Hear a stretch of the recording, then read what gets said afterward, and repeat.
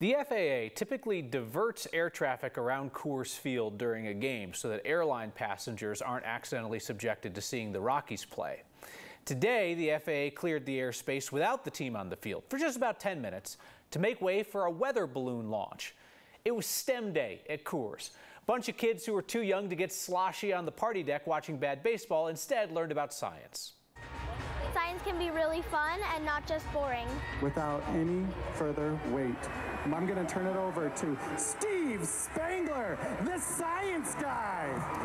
You know, I tell teachers all over the country that activities are a dime a dozen, but an experience changes lives. Three, two, one. We want this to be an experience. Hmm.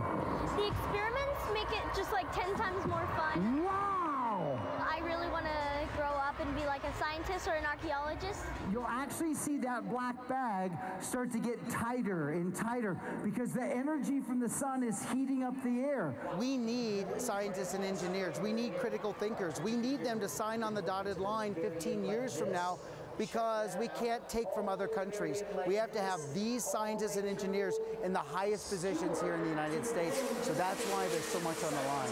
There is the bag of potato chips. A bag of Lay's chips. We want to know what altitude a bag of chips will explode. We got cameras up on the weather balloon to be able to see that today. Lift off! Here it goes,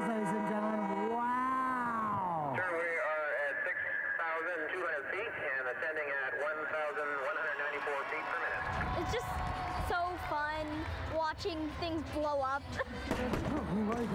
We want them sitting in the stands, feeling the explosions. We want them inspired to think about science in a different way. I just love it. I just love science.